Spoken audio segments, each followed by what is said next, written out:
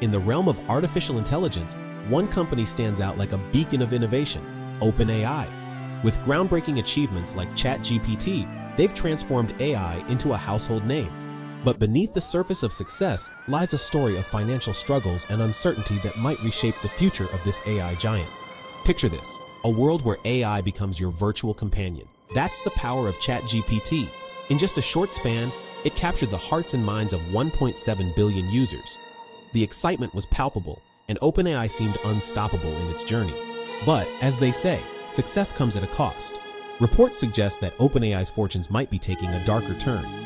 Imagine this, the company burning through a staggering $700,000 each day just to keep ChatGPT running. It's like a high-stakes gamble with time. If things continue like this, OpenAI could face bankruptcy by the end of 2024. Despite the monumental success of ChatGPT, OpenAI's journey to profitability has been an uphill battle. Sam Altman's vision of monetizing AI services like GPT-3, 5 and GPT-4 is a noble one, but turning dreams into reality is proving to be quite the challenge. The company is far from breaking even, leaving profitability as a distant mirage.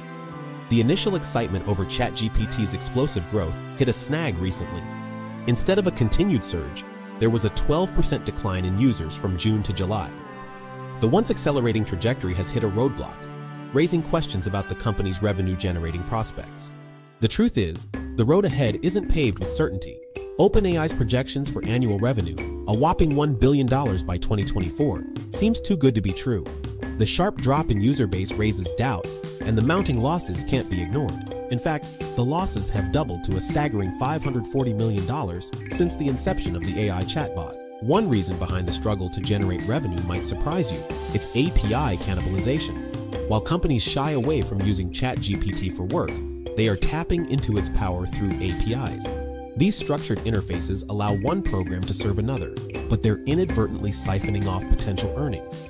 And just when OpenAI thought the challenges couldn't get any tougher, the US-China tech war enters the picture. A shortage of enterprise-level GPUs becomes a bottleneck for the company's growth.